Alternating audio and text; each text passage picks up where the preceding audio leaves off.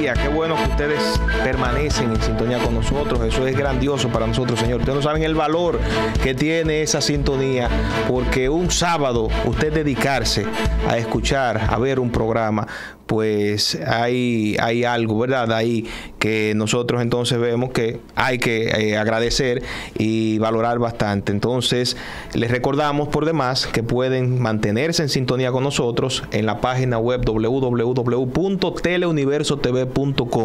En esa página, usted activa su paquetico, teleuniversotv.com. Si quiere, ahorres el www. Usted se mantiene en sintonía con nosotros, se va moviendo en su concho, se va moviendo a su trabajo, a donde sea, desde su trabajo, desde cualquier espacio, entonces puede mantenerse en contacto con nosotros. Continuamos hablando con Felipe Carvajal, rector interino del IESPEC, Instituto Especializado en Formación Electoral. Eh, este, esta institución, esta entidad perteneciente a la Junta Central Electoral, porque mañana, 18 de febrero de 2024, tenemos elecciones municipales. Y antes de seguir para luego entonces comentar. Vamos a ver las declaraciones del señor Eladio Loizaga, que es el jefe de la misión de observadores electorales de la Organización de Estados Americanos de la OEA. Una misión de observadores importantísima, aunque en el caso en cuestión estamos hablando de 14 misiones de observación, pero posiblemente la más importante o la más notoria y conocida sea la de la OEA, por además eh, sus polémicas participaciones en algunos otros procesos históricamente. Pero veamos qué dice el señor Eladio luego de hacer una visita al presidente Luis Abinader al Palacio Nacional ayer de cara a este proceso.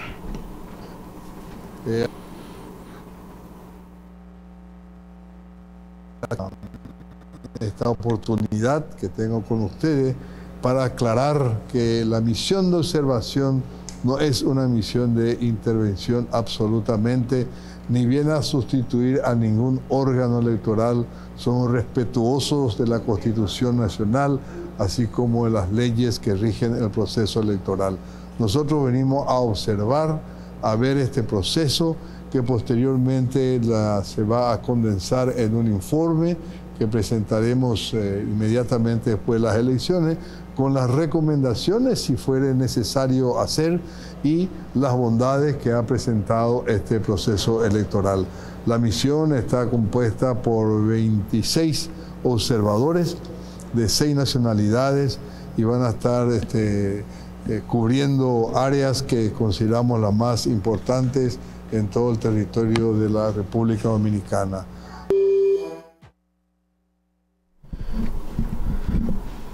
Felipe, ahí está entonces la posición del jefe de esa misión de observadores. Dice, esto no es injerencia, esto es simplemente observar y cualquier cosa nosotros entonces lo, lo indicamos. ¿Qué valor tiene una misión de observadores en un proceso electoral?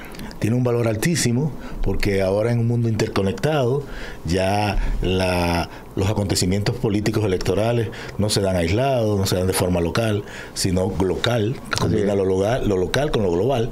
Y entonces es, muy importante que a cualquier proceso electoral se le observe desde esa observación internacional y con un organismo como la OEA que ha sentado las bases para eh, observaciones que eh, van a legitimar esos procesos electorales. En elecciones donde no participe observación electoral son elecciones que eh, de algún modo eh, pudiera estar eh, no totalmente legitimada. Yo pienso que por la salud de la democracia, por la salud de los procesos electorales, mientras más observación electoral haya, mayor transparencia se puede lograr. Y como bien lo dijo el jefe de misión, generalmente lo que se hace es una observación y se emite un informe a mejoras. Y eso es interesante. ¿Qué expectativa tienen ustedes? Porque aunque usted es rector del IESPEC, mañana o en este proceso electoral tiene una participación muy activa. estará, me imagino, de hecho, trabajando con los observadores electorales. Eh, ¿Qué expectativa tiene en cuanto a la participación de la población en este proceso? Hay quienes dicen que habrá una gran abstención. ¿Qué esperan ustedes como, como órgano rector de las elecciones? Bueno, como órgano nosotros estamos optimistas, hicimos la tarea, lo que nos corresponde, eh, motivando a la población para que vaya a votar.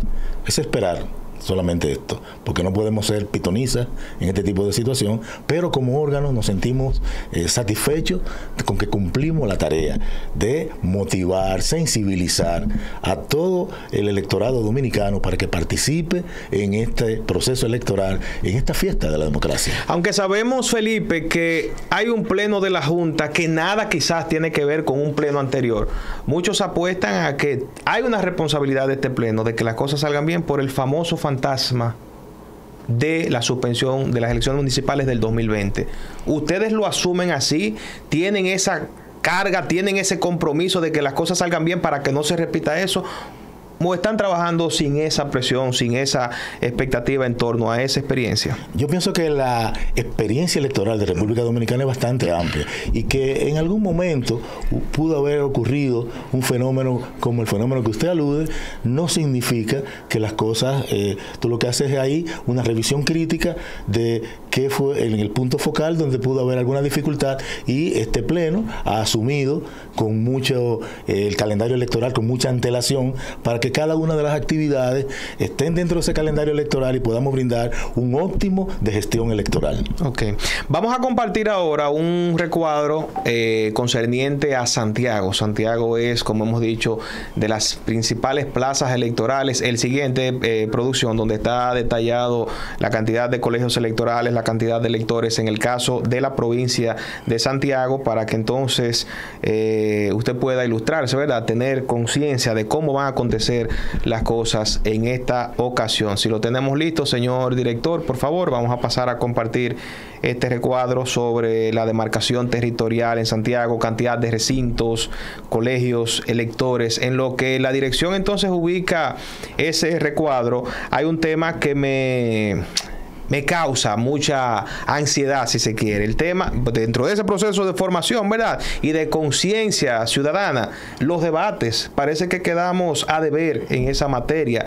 ¿Cuánto se ha avanzado? Bueno, ahí está entonces el recuadro. Antes, Felipe, vemos que en el caso de Santiago, el municipio cabecera, Santiago de los Caballeros, cuenta con 79 recintos, 470 colegios, y 230, espérate, ahí lo veo lejos, entonces voy a buscarlo aquí.